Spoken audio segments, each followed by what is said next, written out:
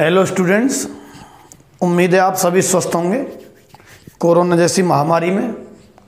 और मुझे ये उम्मीद है कि आप टीचिंग एक्सपर्ट की जो टीम है, आपको जिस तरीके से गाइड कर रही है, आप उसी तरीके से घर पर स्टडी कर रहे होंगे।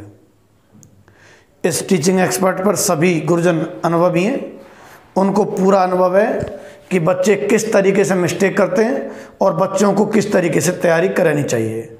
तो मैं आपको विशेषतः कहना चाह रहा हूँ कि इस टीचिंग एक्सपर्ट की जो टीम है, दो स्कूल जो हैं विद्या देवी स्कूल और जीआईएस कठुमर, इन दोनों के सहयोग से चल रहा है चैनल तो ये टीम बड़ी अनुभवी है। जिस तरीके से आपको गाइड करे, आपको उसी तरीके से पढ़ना है।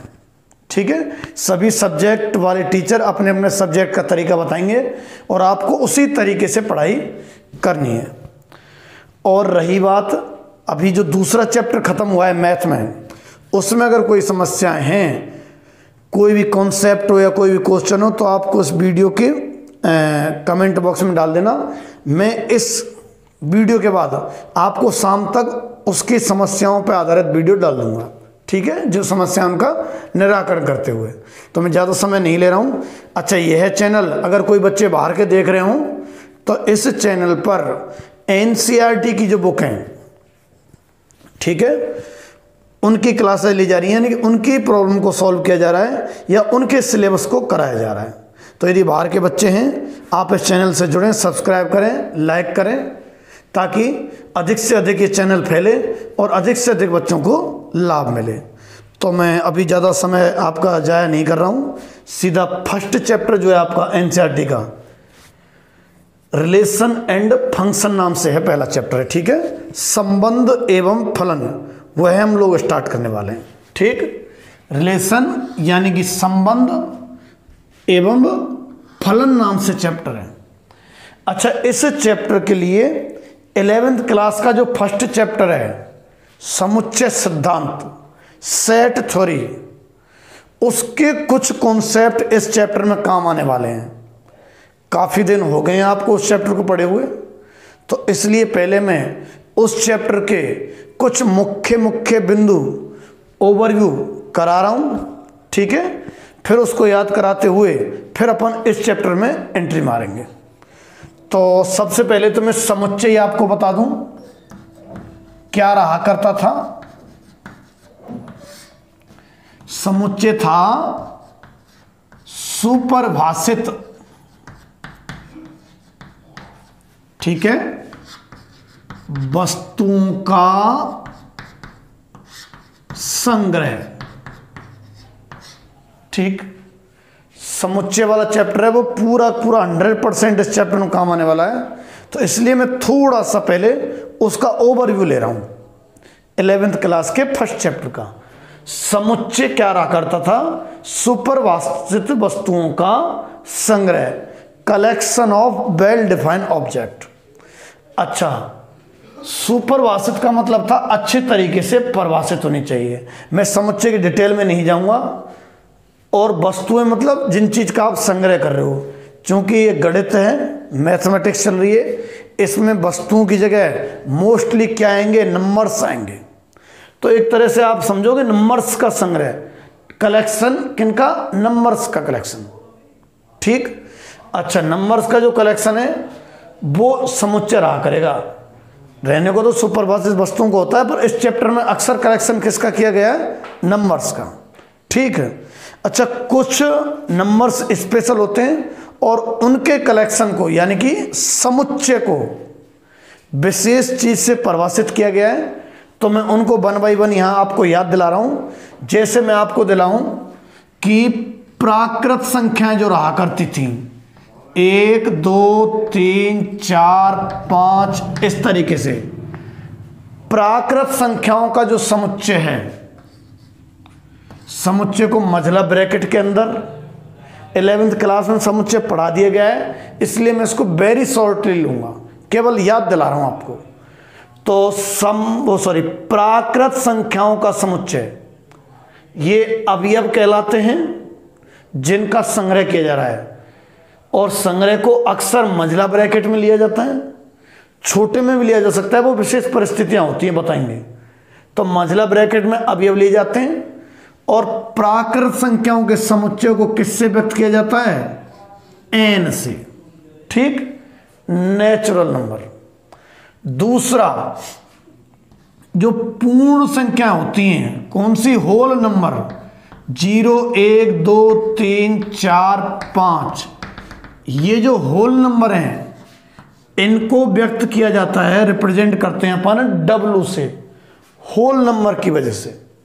अच्छा और जो इंटीजर होते हैं, पूर्णांक, ज़ीरो, एक, दो, तीन माइनस एक माइनस दो और इधर भी। ठीक? पूर्णांक जो हैं, ठीक? पूर्णांक जो हैं, इनके समुच्चय को व्यक्त किया जाता है। आई से या कभी कभार जेड से भी व्यक्त किया जाता है। अच्छा अब परमे संख्याओं का जो समुच्चय है, परमे संख्याओं का समुच्चय। अच्छा परमे संख्याओं का जो समुच्चय है, उसको व्यक्त किया जाता है, रिप्रेजेंट किया जाता है भाई, क्यू से? ठीक? अच्छा परमे संख्या आप सभी लोग जानते हैं, जिनको पी अपॉन क्यू में लिखा जा सके Q not equal to zero और P and Q both are integer ठीक? उनको अपन क्या बोलते हैं? परमे संख्याएँ।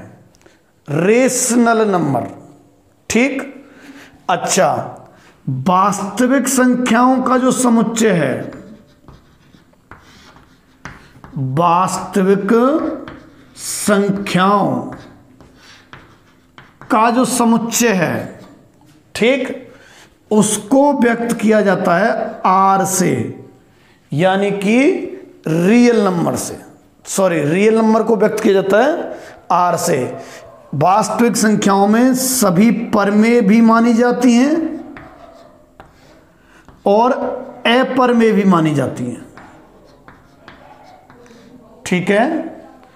क्या करा रहा हूँ मैं? संबंध, फलन relation and function chapter first पर उसमें सेट थ्योरी के कुछ कॉन्सेप्ट काम आने वाले हैं तो हमको लगभग एक क्लास इलेवेंथ की समुच्चय वाला जो है उसका सारांश पढ़ना होगा। उसकी समरी मैं आपको करा रहा हूँ। फिर अपन इस पर चलेंगे। आ जाइए आप। वास्तविक संख्याओं का समुच्चय यानी कि जिसमें परमे और अपर में दोनों ही रहा करती हैं। ठीक? अच्छा एक सम्मिश्र से संख्याएँ होती हैं। सम्मिश्र संख्याएँ। इसका जो समुच्चय है, उसको किससे व्यक्त किया जाता है? सी से। ध्यान रखना, सम्मिश्र संख्याओं में सभी वास्तविक संख्याएँ भी मानी जाती हैं और सभी काल्पनिक संख्याएँ भी और मिक्स भी। यानी कि अकेली संख्या अगर जैसे तेरह, सोचें तेरह, यह सम्मिश्र संख्या है। वास्तविक तो है ही है, पर सम्मिश्र संख्या भी है। अच्छा जैसे अपन बात करें पॉइंट पाँच। रियल नंबर तो है ही ये, पर सम्मिश्र संख्या भी है कॉम्प्लेक्स नंबर यानी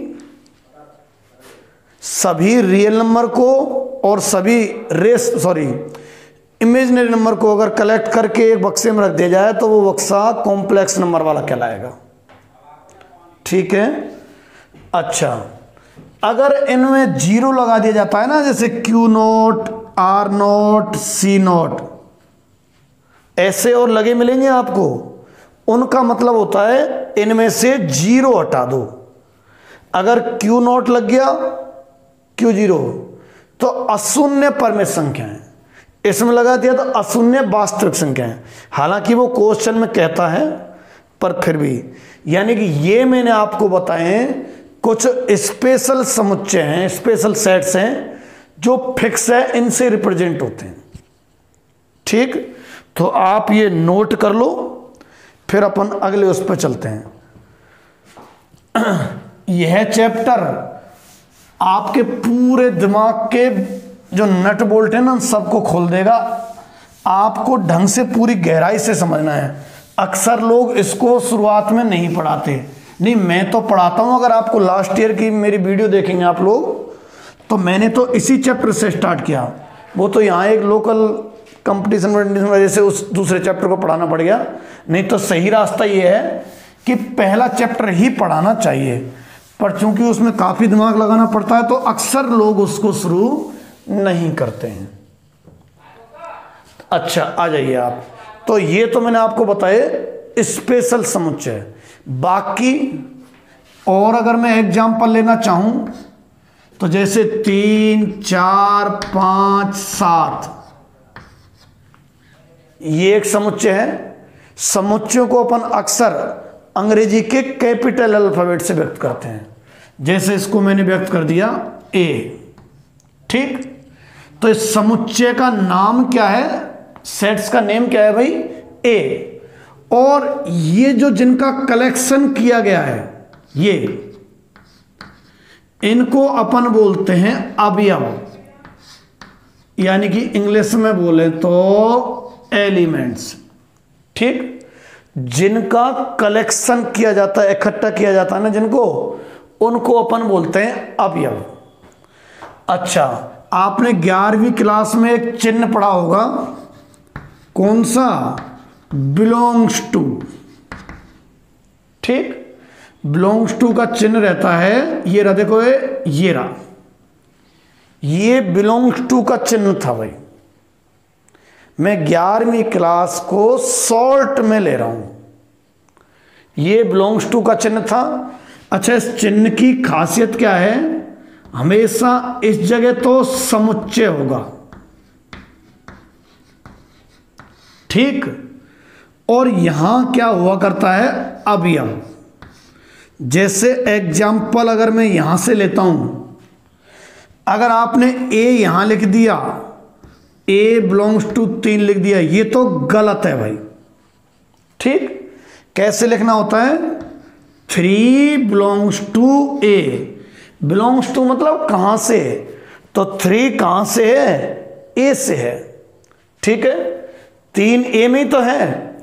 अच्छा मैंने अगर यूँ लिख दूँ सात और ए तो सात तो ए में है, सॉरी, मैं लिख देता हूँ, मान लो, ग्यारह ए। तो ग्यारह इसमें नहीं है ना तो बिलोंग्स टू नहीं नहीं को नॉट ऐसे काट देते हैं। ग्यारह नहीं है ए में eleven not belongs to A. ये मच्छर आ जाएगा कैमरे के सामने। चलो। Eleven belongs not belongs to A इस तरीके से। अच्छा ये तो लिखने का तरीका ही गलत है। यह कथन तो दोनों ही सही लिख रहे हैं। थ्री तो ए में है और इलेवन ए में नहीं है। तो ये तो दोनों सही लिख रहे हैं। पर ये तो लिखने का तरीका ही गलत है। ठीक? अच्छा इसको आप नोट कर लो। इस चैप्टर में इन सब का काम पड़ने वाला है भाई। और अगर आपने सीरियसली इनको नहीं पढ़ा तो सिवाय इस चैप्टर में नींद आने के आपके पास कोई दूसरा उपाय नहीं है। या फिर यूँ यूँ करते हुए भाग जाएँगे आप। इस चैप्टर को शुरुआत से बड़े बारीकी से पढ़ना होगा। जो आपने इलेवेंथ में समुच्चय नाम का चैप्टर पढ़ा था ना, उसके चाचा का चाचा है ये। ठीक है? तो इसको आपको बहुत गहराई से समझना होगा। हवा नहीं बना रहा हूँ, पर सिंसियरिटी पैदा करने का प्रयास कर रहा हूँ। ऐसा मत सोचना कि गुरुजी तो इसको हवा बना रहे हैं इस चैप्टर को। ना। इस चैप्टर के प्रति सिंसियर रहना। ठीक है? शायद कैमरे पे कुछ लगा हुआ है क्या? नहीं लग रहा है। ठीक है? अगर आप चैप्टर को शुरुआत से ढंग से लेते चलेंगे ना तो इस चैप्टर की बराबर मज़ेदार चैप्टर ही नहीं है कोई। बस थोड़ा सा दिमाग को एक्टिव रखना है ना। कम रोटी खाना इस चैप्टर को देखने से पहले। कहीं ज़्यादा रोटियाँ खा के खाना खा के और नींद के झोंका आने लगे आपको। एक मैंने पढ़ाया था आपको, उपसमुच्चय। ठीक? क्या पढ़ाया था? उपसमुच्चय इलेवेंथ में। और जिन बच्चों ने नहीं पढ़ा है ना बाई चांस तो वो थोड़ा थोड़ा समझते, चलो मैं समझाता भी चलूँगा। उप समुच्चय उप समुच्चय का चिन्ह ये भी होता है और ये भी होता है। प्रॉपर सबसेट और इम्प्रॉपर सबसेट इस तरह का मैटर रहता है। आपका इससे काम चल जाएगा पूरा। ठीक है? ये इलेवेंथ में थे दोनों। तो ये चिन्ह है उप समुच्चय का। ठीक? अच्छा उप समुच्चय अगर किसी समुच्चय का नाम दिया जाता है ना उप समुच्चय तो अकेले को नहीं कहा जा सकता। दो समुच्चय देने पड़ेंगे। उनमें से एक तो मेन रहेगा और एक रहेगा, उसका सब पार्ट एक मुख्य और एक उप। उप किसको कहेंगे? मुख्य किसको कहेंगे? तो यदि कोई दो समुच्चय हैं, समझना मैं उप समुच्चय बताने वाला हूँ। यदि कोई समुच्चय दो, ए तथा बी है। ठीक है? और यदि ए के सभी अवयव, यदि ए के सभी अवयव बी में हो, बी में हो, और बढ़िया भाषा में लिखें तो ए के सभी अवयव बी में निहित हो, ऐसा कुछ मान लो। अगर ए के सभी अवयव बी में है ना तो ए उप समुच्चय कहलाएगा बी का। ठीक? जैसे मैं एग्ज़ाम्पल लूँ आपको।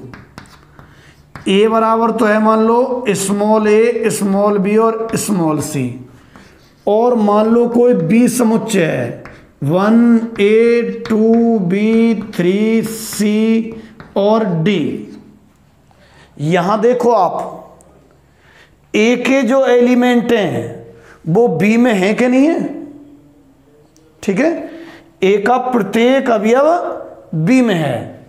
ए के सभी अवयव किसमें होने चाहिए बी में है कि नहीं है? हैं।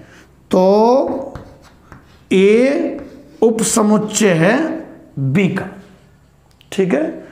तो ए उप समुच्चय है बी का। समझ गए उप समुच्चय किसको कहा जाता है?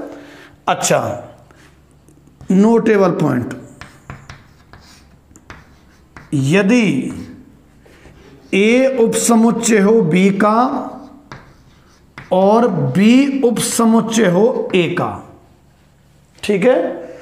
तो इसका निष्कर्ष रहा करता है ए और बी क्या है भाई? बराबर है। अगर ए बी का उपसमुच्चय है और बी ए का उपसमुच्चय है तो ये मैंने थोड़ी सी जानकारी उपसमुच्चय के बारे में दे दी। इसी जानकारी से आपका बिल्कुल काम चल जाएगा। ये आप नोट कर लो, परंतु इसी चैप्टर के अंदर है ना? स्क्रीन रोक के नोट कर लिया करो, मैं मिटा रहा हूँ और अगले स्टेप पे चल रहा हूँ।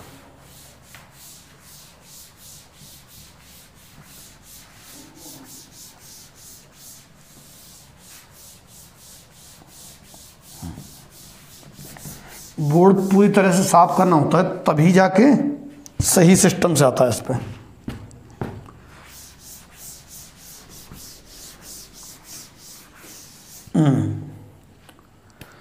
अब मैं एक बताना चाह रहा हूँ आपको, घात समुच्चय, ठीक?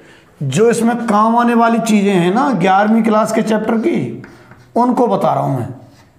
अब एक टॉपिक है, घात समुच्चय।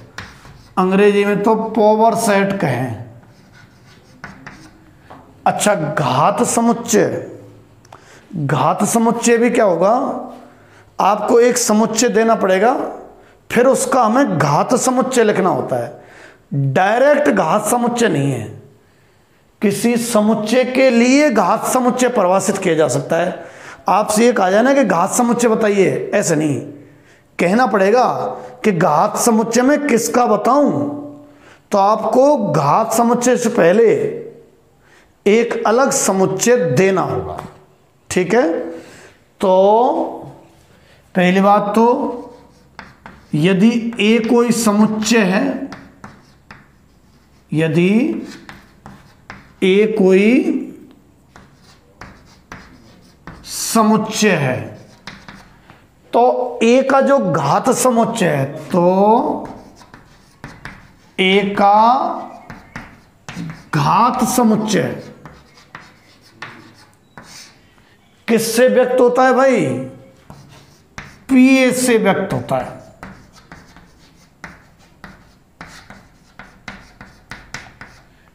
यदि ए कोई समुच्चय है तो ए का जो घात समुच्चय है, वो किससे व्यक्त होगा? पी ए से व्यक्त होगा। अच्छा अब निकाला कैसे करेंगे? तो पी ए होता क्या है सुनो, ध्यान तो आ गया होगा, नहीं ध्यान होगा तो कोई बात नहीं, क्योंकि पहला ही पहला चैप्टर था। पी ए ए के जो उपसमुच्चय है ना, ए के जो उपसमुच्चय है, ए के उपसमुच्चयों का समुच्चय।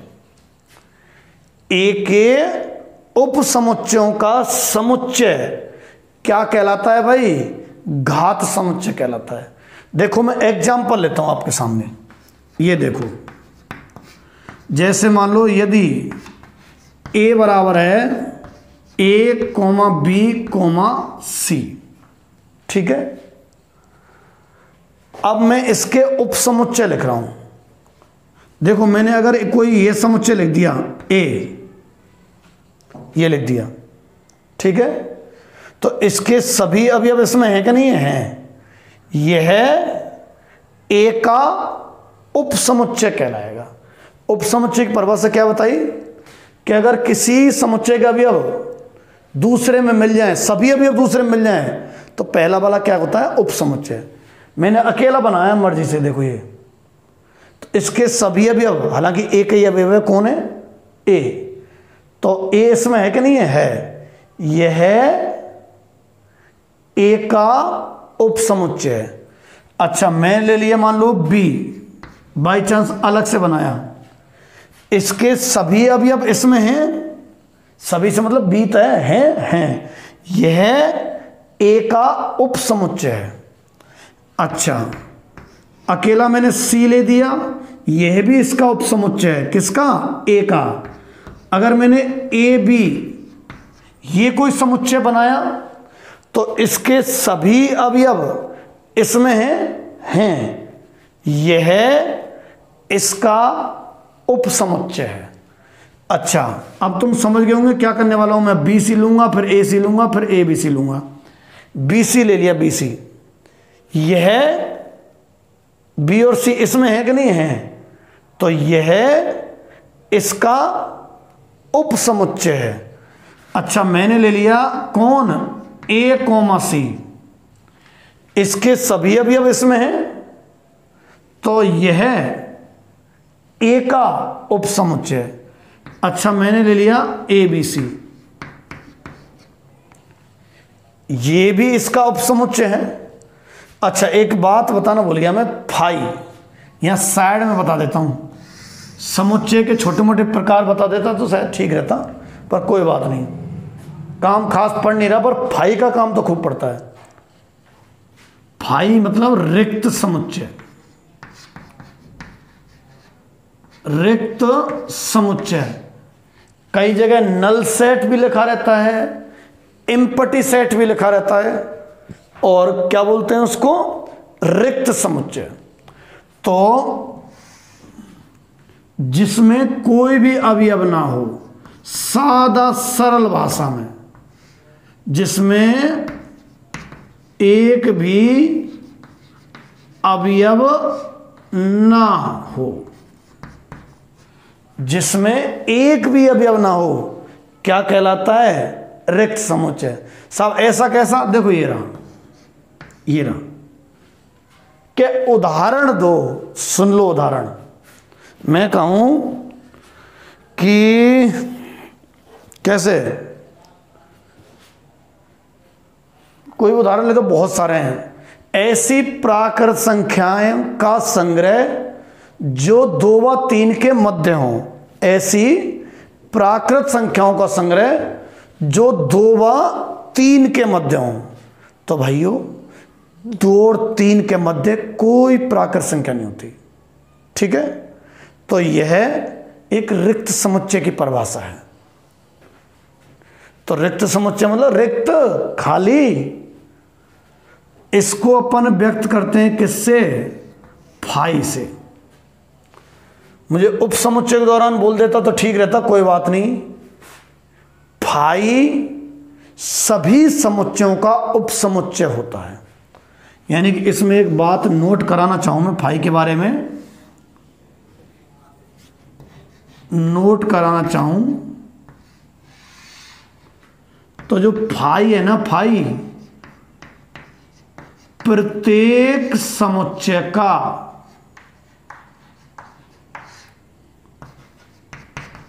क्या होता है भैया?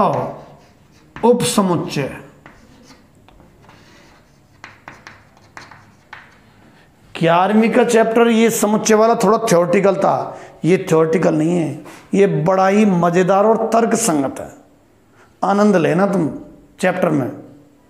ठीक? समझ के संग पर। अगर समझ में नहीं आया तो सिवाय वही उवासी के कोई दूसरा चारा आपके पास रहेगा नहीं। तो मैंने कहा फाइव प्रत्येक समुच्चय का उपसमुच्चय होता है। ये बीच में लीला इसलिए छोड़ दी मैंने, छेड़ दी। क्या वापस आ जाओ। टॉपिक क्या था? घात समुच्चय। घात समुच्चय में किसको कह रहा हूँ कि पीए, किसको कह रहा हूँ मैं? ए के उप समुच्चय और मैंने उदाहरण लिया ए और उसके उप समुच्चय लिख दिए बहुत सारे। पर मैं अचानक यहाँ फाई लिखता तो आप कहते, कहाँ से आया? है ना? तो सुनो, कहाँ से आया? फाई प्रत्येक समुच्चय का उप समुच्चय होता है। यानी फाई एक खाली है तो वो तो जब कुछ है ही नहीं, यूँ देखो समाहित हो सके एक तरीके से। तो मैं इस मुट्ठी को किसी में समाहित कर सकता हूँ। भरे गिलास में ली, यूँ समाहित हो गई। खाली तो है तो खाली नाम की चीज़ तो सब जगह समाहित हो जाती है। ठीक है? ये कितना भी भरा हुआ मुँह है मेरा, और देखो, ये मुट्ठी में कुछ नहीं ना गया है। तो ये इसमें समाहित हो गया ना। समाहित हो जाए तो उप समुच्चय। तो फाई प्रत्येक समुच्चय का उपसमुच्चय होता है, इसलिए ए का भी लिख दिया। अच्छा ये उप उपसमुच्चय आगे बहुत सारे ये रहे। किसके? ए के। टॉपिक था घात समुच्चय। परिभाषा थी ए के उपसमुच्चयों का अगर समुच्चय बना दें तो वो क्या कहलाएगा? घात समुच्चय। तुम कह रहे समुच्चय समुच्चय समुच्चय समुच्चय, घूम गया वो दिमाग में। इसके उप समुच्चय बनाए। इनको एकत्रित कर दो। एकत्र से भी एक समुच्चय बनता है। दो संख्याओं को जोड़ के जैसे संख्या ही तो बनती है, ऐसे उप समुच्चयों को एकत्रित किया तो समुच्चय बना। और इस समुच्चय को अपन क्या बोलते हैं भाई? घात समुच्चय। ठीक? अब घात समुच्चय में अगर कभी अवयवों की संख्या का काम पड़े, घात समुच्चय में मैं जरा देख के आता हूँ कि यहाँ तक कैमरे में आ रहा है नहीं आ रहा है। अरे, बहुत नीचे तक आ रहा है। तो घात समुच्चय में अवयवों की संख्या।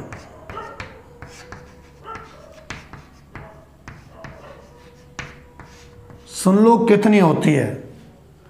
दो की पावर एन कि साहब एन क्या चीज़ है?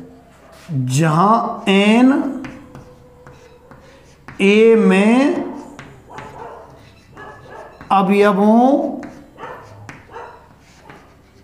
की संख्या है। जहाँ ए में अवयवों, जहाँ एन एन तो लिखाई नहीं मैंने। एन है भाई बीच में ना? जहाँ एन, ए में अवयवों की संख्या है। जैसे देखो यहाँ ए में कितने अवयव हैं? एक, दो, तीन। तीन है? तो इस समय एन का मान तीन है भाई। इस समय एन का मान तीन है। तो अवयवों की संख्या होनी चाहिए दो की पावर एन के हिसाब से दो की पावर तीन। यानी कि आठ। किसमें पीए में। देखना जरा। एक, दो, तीन, चार, पाँच छ सात, आठ। बिल्कुल सही। घात समुच्चय में अवयवों की संख्या।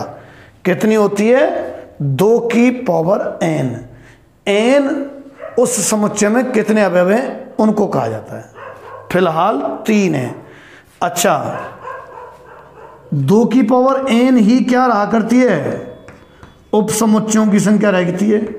अरे, ये उपसमुच्चय हैं। तो कभी उपसमुच्चयों की संख्या अगर पूछ ली जाए तो उप समुच्चयों की संख्या। उप समुच्चयों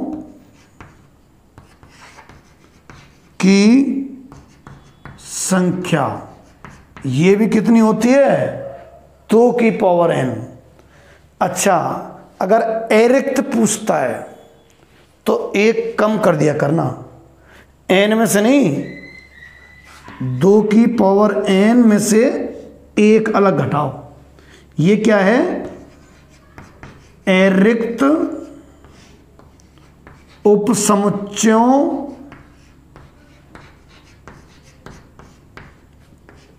हम्म की संख्या। ठीक है? आज के लेक्चर में क्वेश्चन नहीं पहुँच पाएँगे अपन। कल के में पहुँच पाएँगे ना? पर ये सारी चीज़ें बड़े ही काम की हैं। ध्यान से समझते चलना। एरिक्त उपसमुच्चों की संख्या। दो की पावर एन माइनस एक। ठीक है? ये आप नोट करो स्क्रीन रोक के कर लिया करो। अब मैं मिटा रहा हूँ इसको। और अगली चीज़ पे आ जाओ आप।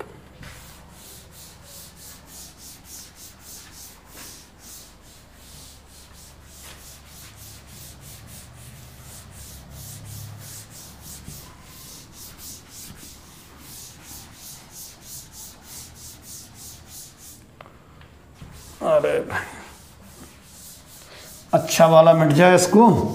अच्छा वाला मिटाने का प्रयास कर रहा हूँ मैं ना। अच्छा वाला कैसे मिटता है? बिल्कुल इस पर सफ़ेद ना रहे। शायद अब अच्छा वाला मिट गया।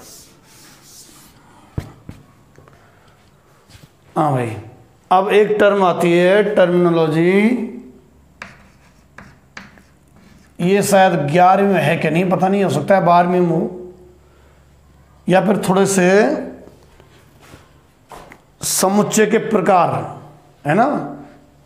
हालाँकि ज़्यादा काम पड़ेगा नहीं, आप ग्यारहवीं की बुक को देख लेना प्रकार को। रिक्त समुच्चय के सबसे ज़्यादा काम पड़ता है। अब तो मैं इसी पे आ जाता हूँ सीधा। एक ध्यान नहीं है। पहले चैप्टर नहीं तो दूसरे चैप्टर में तो थी ये। पर आप निश्चिंत रहिए, आपका जो इलेवेंथ का चैप्टर छूट गया था ना, अपने स्कूल में छूट गया था भाई, अगर बाहर के बच्चे देख रहे हो तो। तो वो पूरा का पूरा चैप्टर इसमें दोबारा से है। उससे भी बेहतर तरीके से। ठीक है? तो उसमें होगा ये शायद, कार्तीय गुणनफल। उससे पहले एक चीज़ बतानी पड़ेगी मुझे। बिल्कुल साहब। कार्तीय गुणनफल से पहले क्रमित युग्म। क्रमित युग्म। ठीक है? ऑर्डर पेयर बोलते हैं इसको। ऑर्डर पेयर क्रमित युग्म। युग्म का मतलब तो होता है जोड़ा। जोड़ा मतलब दो संख्याएँ है ना? जोड़ा। जोड़े में तो दो ही आते हैं। और क्रमित मतलब क्रम के अनुसार। तो होता क्या है? क्रमित युग्म को क्रमित युग्म को छोटे ब्रैकेट में ए कोमा बी से व्यक्त करते हैं। अच्छा ये जो ब्रैकेट है ना, बहुत काम करते हैं। ऐसे मत सोचना कि ए कोमा बी का मतलब ए और बी के मध्य की सभी संख्या है। ना, ये चैप्टर पर निर्भर है कौन सा कर रहे हैं आप। ठीक है? अगर ये क्रमित युग्म वाली चीज़ पढ़ी जा रही है, उस समय केवल दो ही संख्याएँ हैं ये। ए और बी के मध्य की संख्याएँ, सभी संख्याएँ नहीं है। केवल दो ही संख्याएँ। कब? अगर क्रमित युग्म की बात पढ़ी जा रही है। प्रांत परसर पढ़े जा रहे होते हैं तो उस समय इसका मतलब होता है ब्रैकेट का क्या? ए और बी के मध्य की सभी संख्याएँ। फ़िलहाल केवल ए और बी। ठीक? इसका काम संबंध में पड़ेगा। ये जो चैप्टर है ना, संबंध में फलन। फलन तो यहाँ है। फलन बनता है संबंध से। संबंध बनता है कार्त्य गुणन से। कार्त्य गुणन में क्रमत्युग लिखे जाते हैं। ठीक? तो क्रमत्युग पहले बताना चाह रहा हूँ। यानी ऐसे युग्म जिनका क्रम निर्धारित हो, इससे व्यक्त करते हैं। क्रम निर्धारित मतलब देखियो यानी कि ए, बी और बी ए दोनों को बराबर नहीं माना जाए। अगर बराबर नहीं माना जा रहा है तो ये क्रमित युग्म है। अच्छा क्रमित युग्म को छोटे ब्रैकेट में लेते हैं। आपको पता है कि अगर मैं मझले ब्रैकेट में ए बी लेता हूँ और बी ए लेता हूँ तो ये दोनों इक्वल माने जाते हैं भाई। ए तथा बी, ए तथा बी। यहाँ कुछ रहा है, ए तथा बी है, पर क्रम ये हो। अगर आपको क्रमित युग में एक कोमा दो एग्ज़ाम्पल जैसे, यदि एक कोमा दो को क्रमित युग्म कहा है, क्रमित क्रमित युग्म कहा है तो फिक्स है। फिक्स को शायद नियत कहते होंगे। नियत है एक पहले और दो बाद में। दो बाद में लिखा जाएगा। ठीक है? एक पहले और दो बाद में लिखा जाएगा। यानी कि एक कोमा दो और दो कोमा एक। बा लिख रहा है ना? एक कोमा दो व दो कोमा एक भिन्न भिन्न माने जामे। भिन्न भिन्न माने जामे। इनका कहाँ उपयोग होता है? अभी जो मैंने हेडिंग लिखा था, एक क्या लिखा था? कार्तीय गुणनफल। लिखा था ना? उसमें काम आने वाला है क्रमित युग्म उसमें और फिक्स पता चल जाएगा। कुल मिला के ये क्रमित युग्म नहीं है, ये है। अच्छा ये ब्रैकेट हमेशा क्रमित युग्म को रिप्रेजेंट करे आवश्यक नहीं है।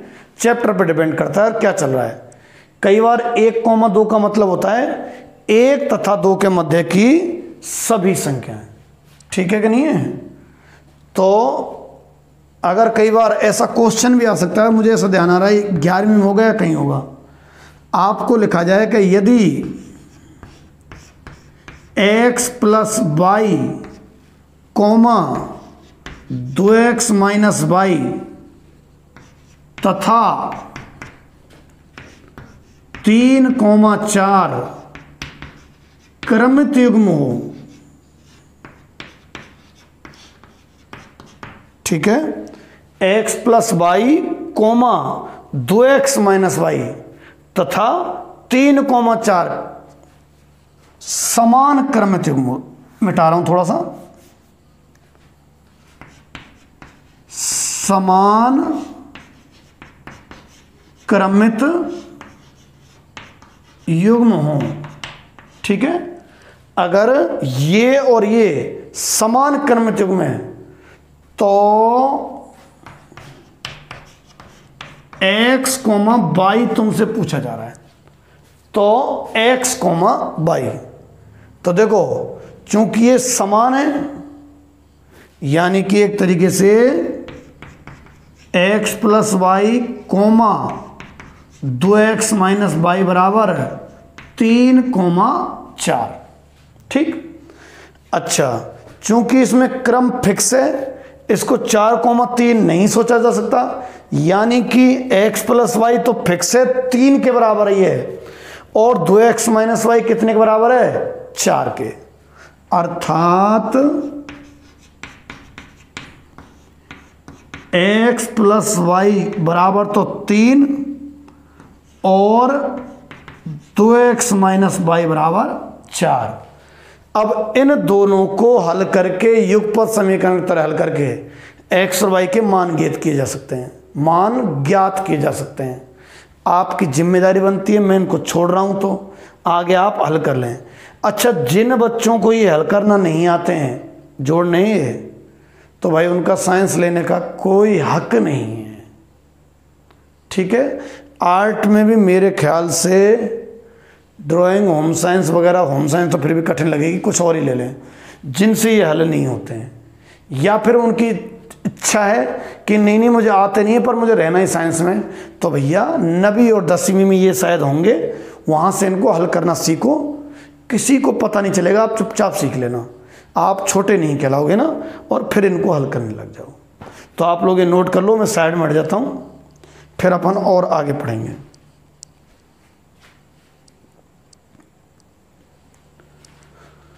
उम्मीद है नोट कर रहे होंगे, मैं ये मिटा रहा हूँ, अब आगे बात पर चलेंगे। इनके उपयोग आएँगे, जब ढंग से मालूम पड़ेगी ये क्या चीज़ है है ना? अभी तो क्या पढ़ाया जा रहा है? मैंने तुम्हें बताया था ना। कुछ तो पहले चैप्टर की समुच्चय वाले की, कुछ दूसरे चैप्टर था ना। ग्यारहवीं में भी संबंध फलन नाम से था, शायद मुझे ध्यान आ रहा है। तो उस चैप्टर के हैं कुछ चीज़ें, जो इसमें काम आने वाली हैं। बड़े ही बेहतर तरीके से पढ़ाऊँगा। मुझे ऐसा लगता है मैं इस चैप्टर को बड़े अच्छे तरीके से पढ़ा सकता हूँ। मतलब हमेशा मैंने इससे स्टार्ट किया है। कहीं पहले डेमो दिए, तब भी और यहाँ भी। तो मेरा मतलब है, बहुत अच्छे तरीके से पढ़ाऊँगा, पर लगातार जुड़े रहिए। अक्सर जगह ये कम समझ में आता है, हमारे कम समझ में आया था, मुझे ध्यान आ रहा है। हाँ भाई, अब बात आती है कार्तीय गुणनफल।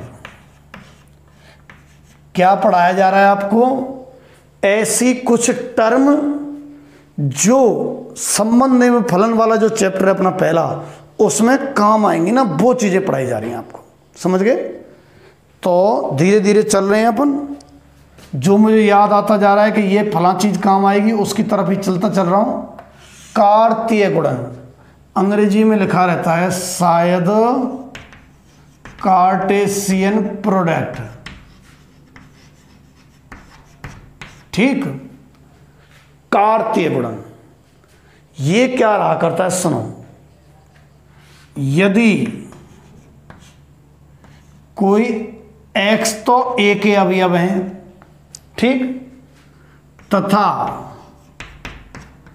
वाई से व्यक्त हो रहे हैं बी के अवयव, ठीक, यदि एक्स तो ए के अवयव हैं एक्स से तो ए के अवयव व्यक्त हो रहे हैं और बाई से बी के व्यक्त हो रहे हैं। तो पहली बात तो कार्तीय गुणनफल कार्तीय गुणन किसका? ए तथा बी का। किससे व्यक्त होता है? ए क्रॉस बी से व्यक्त होगा। ठीक है? ए और बी समुच्चय हैं। ना कि संख्याएँ। ठीक है? कहीं दो गुणा तीन, छह सोच रहे हो। हाँ समुच्चय हैं। साहब, इनका क्रॉस कैसे लिखेंगे? बता रहा हूँ ना, कैसे लिखेंगे? चिंता क्यों करते हो? कार्तीय गुणन तो ए तथा बी से व्यक्त होता है। और होता क्या है फिर इसमें? ए क्रॉस बी में होता है एक्स कोमा बाई ठीक? एक्स कोमा बाई रहा करता है। जहाँ दो बिंदी व्यक्त कर दो या डंडा साहब खींच सकते हैं, जहाँ एक्स तो ए से बिलोंग करना चाहिए और बाई बी से बिलोंग करना चाहिए। ठीक? अरे अरे एक बराबर नहीं। ए क्रॉस बी में क्या आएगा? ए क्रॉस बी में क्या आएगा? सुन लो जरा ना, ध्यान से समझना। ए क्रॉस बी बराबर एक्स कॉमा बाई एक्स तो ए के अवयव और बाई बी के अवयव। सब कॉम्बिनेशन लिख दो। उदाहरण से सही समझ में आएगा। देखो। यदि ए बराबर तो है ए कोमा बी ठीक है? और बी बराबर है एक कोमा दो। ऐसे है। ए बराबर तो ए कोमा बी और बी बराबर एक कोमा दो। तो ए क्रॉस बी बराबर। तो ए क्रॉस बी बराबर। A comma one, A comma two, ठीक है? बी कोमा वन और बी कोमा टू। ऐसे लिखना है। कैसे लिखा है देखो मैंने। ए लिया, इसके सभी के साथ लिख दिया। बी उठाया, सभी के साथ लिख दिया। देखो x comma by x comma by x comma by x comma by रूप में है ना? है कि नहीं है? एक्स कोमा बाई रूप में है। अच्छा एक्स की जगह पे जो लिख रहा है, वो तो ए का अवयव है, इसका। और यहाँ बाई की जगह जो लिख रहा है, वो बी का अवयव है। ठीक है? अगर तुमसे पूछा जाए कि यदि ए बराबर तीन कोमा चार और बी बराबर पाँच कोमा छ तो क्या पाँच कोमा चार बिलोंग्स टू ए संभव ए नहीं ए क्रॉस बी ये जो युग्म है ना, युग्म, ये क्रमित युग्म है, इसका क्रम फिक्स है। पहली जगह पे तो पहले समुच्चय का भी अब दूसरी जगह पे दूसरे समुच्चय का भी तो मैंने ये दो समुच्चय थे, इनका ए क्रॉस भी ये लिख दिया। ठीक है? अगर ए बराबर इतना है बी बराबर इतना है तो क्या पाँच कोमा चार ए क्रॉस बी में हो सकता है? ना। ए क्रॉस बी लिख दिया ना तो पहले ए लिख रहा है ना तो पहला अवयव ए का ही होना चाहिए। बाद में बी है ना तो बाद का अवयव बी का ही होना चाहिए, यहाँ उल्टा है। यहाँ क्या? Five not belongs to A four not belongs to B अतः पाँच कोमा चार belongs to A cross B गलत है। ठीक है? ए क्रॉस बी लिखने का तरीका सीख गए क्या? एक और लेता हूँ मैं, देखो। अगर आप लिख सकें तो। ए बराबर। आपको हो गया चार, पाँच, छ। और बी बराबर। इसको मिटा देता हूँ। बी बराबर हो गया, मान लो, सात कोमा नौ। और तुमसे बी क्रॉस ए लिखवाया जाए। क्या लिखवाया जाए तुमसे? B cross A. ध्यान रखना एक्स वाई रूप में लिखने हैं सभी। पर पहला अवयव होना चाहिए बी का और दूसरा अवयव होना चाहिए ए का। तो बी में से उठाओ ये रहो ए, चार उठाया। सात के संग लिख दो और चार को नौ के संग लिख दो। अब उठाया, पहले बी के बी क्रॉस ए ना? तो बी का अवयव लेके लिखना है। पहला अवयव बी का होना चाहिए। तो चार के संग तो लिख दिया, अब पाँच उठाओ और ए के संग लिख दो, सात और नौ के संग। पाँच कोमा सात और पाँच कोमा नौ। अब छ उठाओ। बी के सभी अवयवों को ए के साथ युग्म बना दो। ए क्रॉस बी में तो ए के अवयवों का बी के साथ युग्म और बी क्रॉस ए का मतलब बी के सभी अवयवों का ए के साथ युग्म तो मैंने चार का युग्म बना दिया दोनों के साथ। पाँच का बना दिया। अब मैं छह का बना रहा हूँ। छ कोमा सात और छ कोमा नौ। ठीक है? तो आपको ए क्रॉस भी लिखना आना चाहिए। ठीक? अब मैं आपको खुद करने के लिए ए बराबर एक कोमा बी कोमा ई और बी बराबर है मान लो माइनस पाँच कोमा सी कोमा आठ। ये है। तब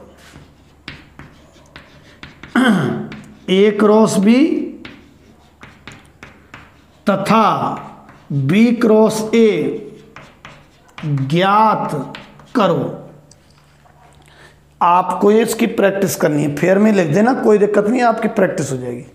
ठीक है? आप ये नोट करो कार्य गुणनफल उम्मीद है। आप समझ गए होंगे।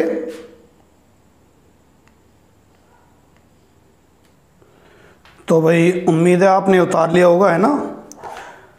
तो मेरे ख्याल से काफ़ी कुछ चीज़ें तो हो चुकी हैं ना। अब इस चैप्टर का जो रिलेशन है, जहाँ से स्टार्ट है चैप्टर का नाम तो संबंध है फलन है ना? तो संबंध जहाँ से स्टार्ट है, वो अब आ गया मेरे ख्याल से। ठीक? सारी चीज़ें जो मुझे लगी संबंधित संबंधित, वो मैंने आपको बता दी। समुच्चय के प्रकार, इसमें कहीं काम आते नहीं खास। यूँ मैं आपको याद दिला दूँ। एक परमित समुच्चय रहा करता था ना? एक अपरमित समुच्चय। परमित समुच्चय तो क्या थे? ध्यान करो। अगर समुच्चय के अवयव काउंटेबल हों यानी समुच्चय में अवयवों की संख्या निश्चित हो वो तो परमित था। और जिसमें अच्छी हम्म, और जिस समुच्चय में अवयवों की संख्या अनंत हो वो कहलाता था अपरमित समुच्चय। मैं याद दिला रहा हूँ, आप देख लेना। एक, घात समुच्चय उप समुच्चय मैंने बता दिया आपको। एक यूनिवर्सल सेट है ना? यूनिवर्सल सेट अगर आपको ध्यान हो तो। सार्वत्रिक समुच्चय। एक ऐसा समुच्चय जिसमें सभी समुच्चय के अवयव समाहित हों। यानी कि बाकी के सभी समुच्चयों को समाहित कर ले।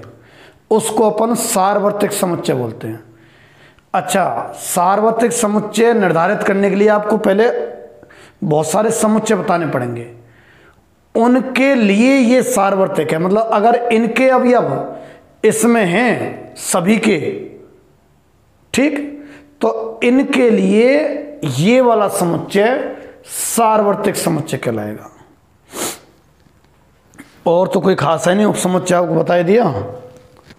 मेरे ख्याल से यही सारी चीज़ें और मुझे कुछ अगर कल ध्यान आ गया कल की क्लास में तो मैं आपको बता दूँगा। बाकी अब हम इस चैप्टर के गेट पर, द्वार पर पहुँच चुके हैं। ठीक है? और द्वार से स्टार्ट करेंगे अपन कहाँ से? संबंध से। कुछ एक्सरसाइज शायद पहली वाली एक्सरसाइज है, उसमें तो संबंध है, और पहली या दूसरी। उसके बाद फिर फलन है, फिर एक दो आधारित संक्रिया, इस तरह से चैप्टर बटा हुआ है। इंटरेस्टिंग चैप्टर, है ना? तो आज तो मैं यहीं समापन कर रहा हूँ क्लास का, क्योंकि अब फिर नए सिरे से स्टार्ट, नया टॉपिक स्टार्ट होगा तो उसके लिए समय इतना बचा नहीं है। क्योंकि रिलेशन जब बताया जाएगा तो फिर ढंग से बताया जाएगा। ठीक? धन्यवाद।